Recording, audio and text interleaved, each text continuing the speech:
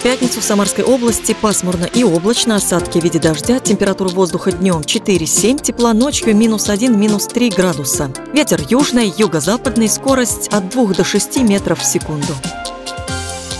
В Сызрани небо в облаках, осадки в виде дождя. Днем плюс 7 градусов, ночью минус 2. Южный ветер, скорость 4 метра в секунду.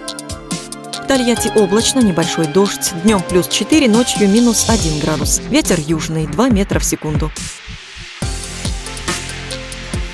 В Самаре пасмурная погода, в течение дня дождь, дневная температура плюс 3 градуса, ночью минус 3. Ветер южного направления 2 метра в секунду, атмосферное давление 745 миллиметров ртутного столба, влажность воздуха 95%, геомагнитное поле слабо возмущенное.